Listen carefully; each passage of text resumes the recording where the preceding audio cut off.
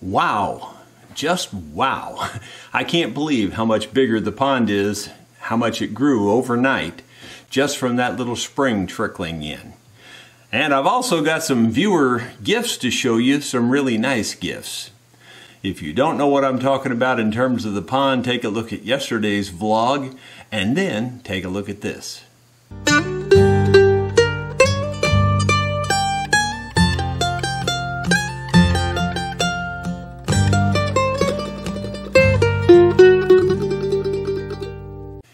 My friends. Jerry Rosa here in the Rosa String Works Workshop. Today is Tuesday, August 23rd, and we will be playing at Dickey's Barbecue this evening in Rolla, Missouri from around 6 to around 8.30. So come if you can, if you're in the area. I know you'll have fun. Regarding the pond, here's a video that I took this morning, and I'm very surprised how much bigger it is with just that little tiny trickle of water going in. I'm going to have to get busy real fast in order to, to contain the pond before it flows over the banks. Well, we're back at the pond again this morning, and you can see it has grown a lot. It's really from this point right here, which is the furthest point, to about where the ranger's setting is uh, 50 yards, and uh, that's 150 feet which is about 10 feet more than the length of my house.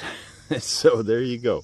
It's a it's a pretty big pond. It really is. It's not it's not bad at all. 50 yards is, you know, nothing to sneeze at. It's probably 30 25 yards the other way.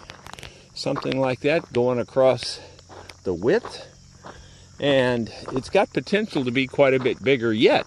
So it's uh, pretty decent, but you can see it's really swelled up just in one day, and that's just from that little trickling spring filling it up. So there's we've had no rain at all. I just thought you'd get a kick out of seeing how much it grew just in one day. So I've got to get the pipe in here pretty quick or I'm going to have a disaster. And unfortunately, my bobcat is still on the fritz.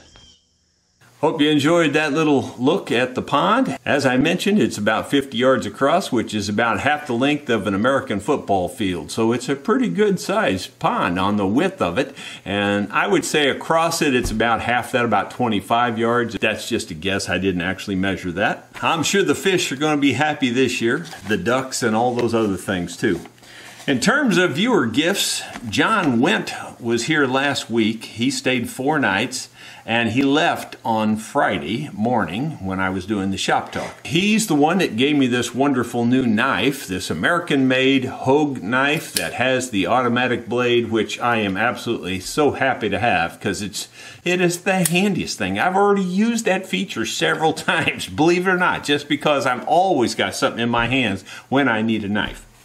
So that's cool. But he also, that wasn't enough. He also gave me this wonderful flashlight. This is one of these, uh, you know, high strength flashlights. I don't want to shine it at the camera, but you can kind of tell just by the that it's one of those powerful flashlights.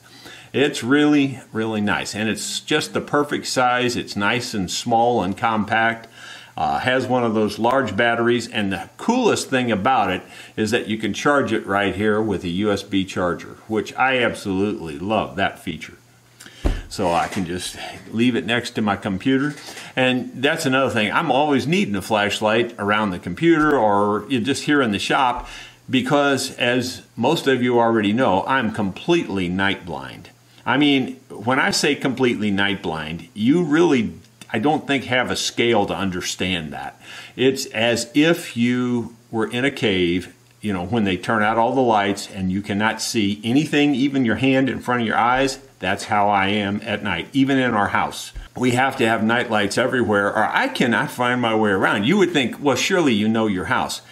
Well, you know, I, I don't know how blind people do it, but I can't. I lose my sense of direction and I run into stuff. The other night, I my wife had somehow taken out the nightlights and I walk into this wall and I'm feeling this wall and I can't tell where I'm at. And I mean, I mean, I hate to tell on myself like that, but it's that, that's how night blind I am. So that's why things like this are super appreciated. So thank you, John, one more time for that. Now, here's a really, really, really nice viewer gift and another very, very nice letter. This is from Scott McGuire. Scott was here from Virginia and uh, I worked on on his uh, 028 guitar, and uh, it's a 1919 vintage Martin 028. It's a sweet guitar. I'm not sure if we did a short video on that. I kind of think we did, and assuming we did, you'll see that before long. You'd be surprised. I just can't keep up with all that stuff. I don't think we got the video out on that yet. But anyway, uh, he he just goes on and on about you know how friendly everybody was uh, emery helping him find the directions to get here and and that sort of thing. And you know a thousand miles he came and he he was very very happy with uh, the results. He you know i was able to look at his uh, instrument and tell what the problems were instantly and they weren't huge problems. So i just fixed them on the spot. Uh, it only took me about an hour to get everything up in tip top shape for him and uh, he was so thankful of that. And he, he was expecting to have to leave the instrument and that it was going to cost a lot more. And so he sent me a very large, nice tip. In fact, the nicest, largest tip I ever received. And Scott, I can't thank you enough. It's so very nice to. Uh, get your letter especially and of course the tip is always helpful here on the farm where we have so many expenses. So thank you so very very much scott. I don't have uh, any updates on instruments yet as i didn't really work on any. I got a little more information on my bobcat. I called bobcat and told them what the problems were. This was after I changed back to the old oil filter to see if that cleared up the problem. And at first I thought it did because the the messages went away, but after, you know, after it warmed up and got going a while, those messages came back. So I called Bobcat and told them what the messages were, and they suspect that it's some sort of an electrical problem.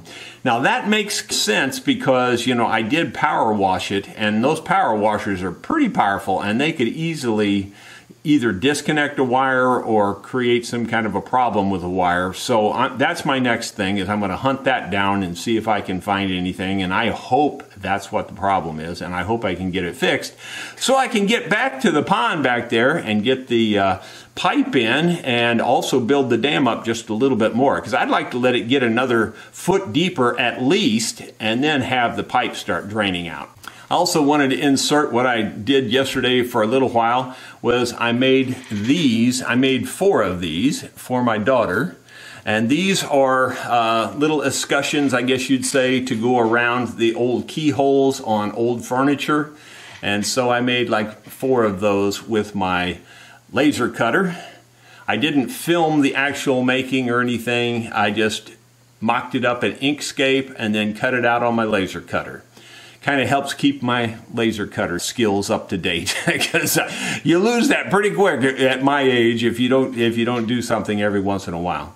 So that was for my daughter Rochelle. She's also building a new house out there in uh, Ohio, uh, near the Dayton area, and uh, here's a picture of her new house too. Well, hope you enjoyed that picture of her house. So, I got my work cut out for me. I better get at it. Hopefully, we'll see you tomorrow.